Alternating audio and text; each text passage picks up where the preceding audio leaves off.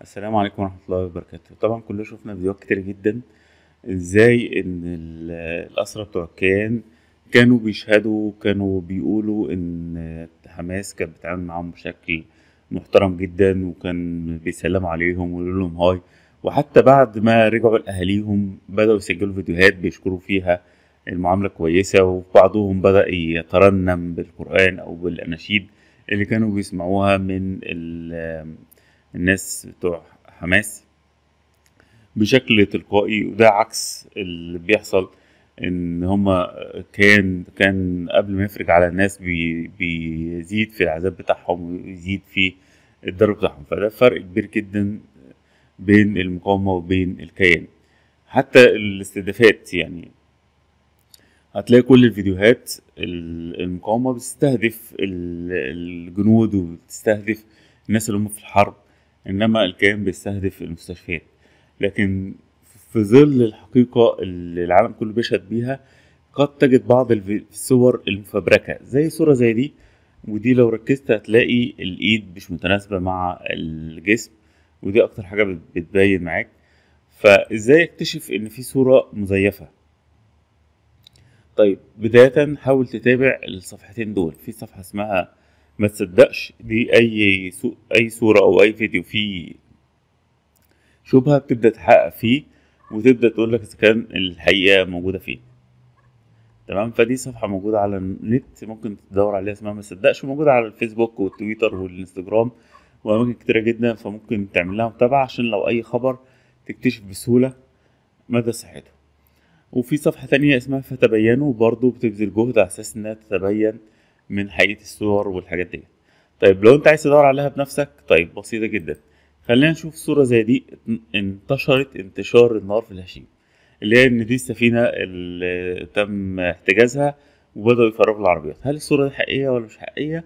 ده اللي ممكن نشوفه مع بعض. تعمل إيه؟ ادي هو الصور بتاع جوجل عادي خالص. موقع جوجل المشهور. هتاخد الصورة دي ممكن تعملها download وبعد كده تعملها أب وتبدأ إن أنت ترفعها لهم هنا. تمام؟ هو يبدأ إن هو يكتشف عليها. يبدأ إن هو يكتشف مدى حقيقة الصورة ديت تمام؟ بحسب الصورة أهوت وأسحب الصورة واديها لجوجل. أهي. هيعمل إيه جوجل؟ هيقول لك الصور دي أول مرة اتنشرت فيها إمتى أو موجودة فين. فهتلاقي إنها موجودة من زمان. تمام؟ أهو. الصور دي مش جديدة. الصور دي الحاجة بقالها شهور. تمام؟ وهتلاقي بعض الحاجات بتأكد إن دي مش مش السفينة اللي, اللي تم الاحتجاز. تمام؟ إحنا مش بنتكلم سياسة بس بنتكلم إزاي تعرف إذا كانت الصورة حقيقية ولا لأ. طيب في برضه مواقع تانية. ده برضه موقع متخصص في إن هو يدور لك على صحة الصور ديت. هما أربع مواقع هيساعدوك في التدوير. ممكن تديله link يعني ممكن تاخد ال link ده وتديهوله وهو يبدأ يفحص لك الصورة. ويبدأ يكشف لك إذا كانت الصورة حقيقية ولا لأ تمام؟ ده بيدور إذا كانت معمولة بال Photoshop ولا لأ وتقدر تشوفها على أكتر من طريقة بحيث لو فيها لعب في ال Photoshop تقدر تلاقيها. لكن هنا اللعب في ال Photoshop اللعب في إن الصورة تم استخدامها في موضوع آخر تمام؟ ده برضو من ضمن المواقع اللي يدور لك في صحة الصور.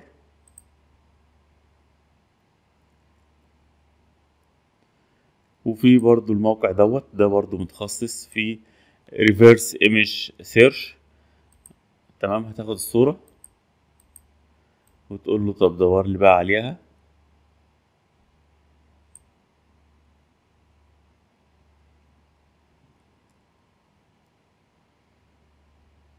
تمام؟ فيبدأ يجيب لك المصادر الأولية للصور. زي ما انت شايف الصور دي اتنشرت في سبعة فبراير ألفين واحد وعشرين. تمام؟ وبعد كده اتنشرت في نوفمبر اتنشرت قبل كده في أبريل 2019 تمام؟ ممكن تقول له أنا عايز مثلا الاولدست تمام؟ فيبدأ يدور لك فتلاقي إن هي كده. فتبدأ تدخل على الموضوع وتشوف كان بيتكلموا عن إيه في الفترة ديت. فاكتشفنا إن الصورة دي مش حقيقية.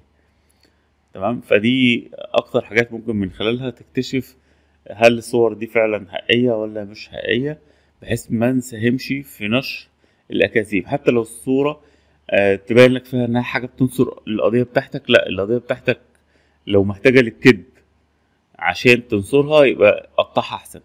أنا شفت مواقع علمانيه كانت بتحاول تألف بعض الحاجات خاصة بالإعجاز العلمي في القرآن. الاعجاز العلمي في القرآن موجود ما بنكدبوش لكن هي بتحاول تعمل تأليف بحيث إن أنت تنشرها وبعد كده هي تطلع وتقول لك إيه الهبل اللي أنتوا بتنشروه ده مع إن هي اللي مؤلفاه تمام؟ فإحنا لازم أي حاجة تقراها تبدأ تدور عليها وتتبين اذا كانت صحيحة ولا خاطئه وكفى بالمرء اسما إن يحدث بكل ما يسمع. كفى بالمرء اسما إن هو ينشر أي حاجة تلاقيه. لا لازم تدور عليها وتتأكد منها قبل ما تنشرها.